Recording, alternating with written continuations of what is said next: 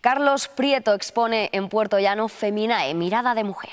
La obra de Carlos Prieto se destaca por el retrato. Un abanico de rostros femeninos nos dan un aire global del papel de la mujer en diferentes ámbitos y edades. Una veintena de miradas con las que el autor se suma a las celebraciones y, por supuesto, a las reivindicaciones del 8 de marzo.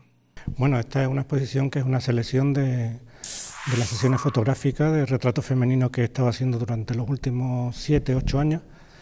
Y bueno, Pretendo, de, alguna manera, como has comentado, ya que estamos en el mes de marzo y que el día 8 es el Día Internacional de la Mujer, pues hacer un homenaje, un homenaje a la mujer.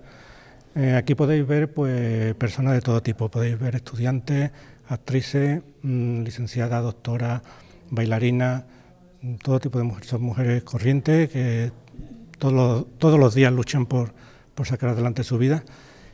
Y bueno, mm, es ese homenaje, ese homenaje es lo que he pretendido hacer con esta exposición. Feminae tiene como denominador común el retrato femenino, desde la fotografía de fantasía, pasando por el steampunk, el beauty o el más puro y directo retrato con modelos principalmente amateur y alguna profesional como actrices, cantantes, bailarinas o estudiantes. La obra de un fotógrafo autodidacta que se podrá ver en Puerto Llano después de su presentación Feminae en Ciudad Real, según subrayó la concejal de Cultura Ana Belén Mazarro.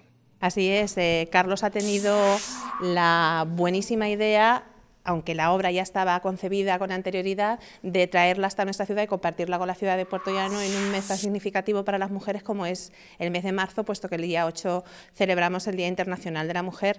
Es una forma de reivindicar con arte, con belleza, pues lo que las mujeres eh, suponemos en, el día a día, en, en cómo movemos el mundo y en cómo el mundo avanza pues gracias a nosotras. Papel importante ha jugado la ilustradora y pintora Ana Ramírez y la colaboración de maquilladoras, estilistas y peluqueras. Feminae estará abierta al público de Puerto Llano hasta el próximo 31 de marzo.